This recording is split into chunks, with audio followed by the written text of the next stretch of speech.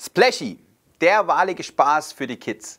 Bei Splashy geht es darum, die kostbaren Gegenstände aus Splashys Maul zu fischen, ohne dabei nass zu werden.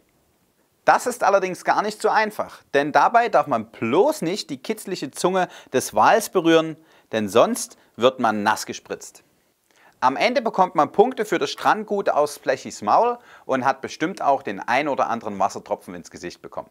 Splashy, ein spannendes und spaßiges Spiel für zwei oder mehr Spieler ab fünf Jahre. Viel Spaß beim Spielen.